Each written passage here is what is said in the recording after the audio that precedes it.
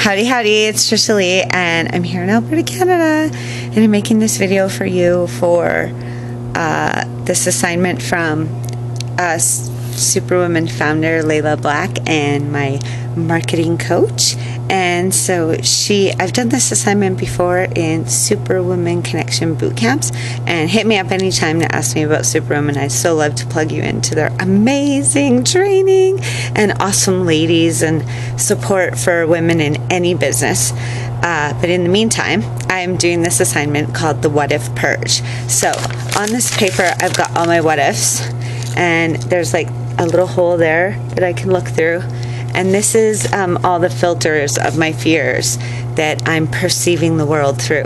And so, in this exercise, what we do is we actually um, go ahead and we burn the paper. So, I'm just to come over here where it's dark and we're to take this paper and we're to burn it here on top the fire pits.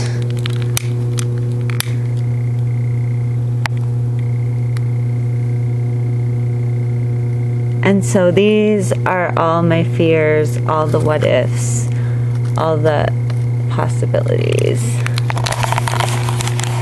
things going wrong or bad. And there's my son who's all excited about me burning the paper. And there it goes. And going going and gone. So that's it. That's the what if purge on that paper was like all of the possible things that could go wrong for me.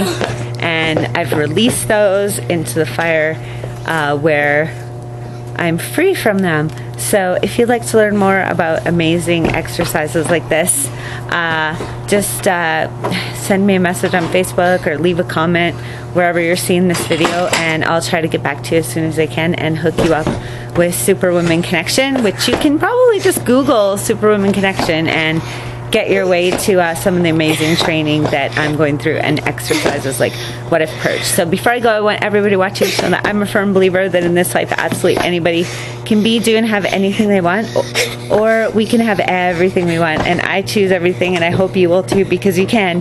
So click the link to find out how. And if I don't see you in the future, I'll see you out in the pasture tomorrow. Bye, y'all.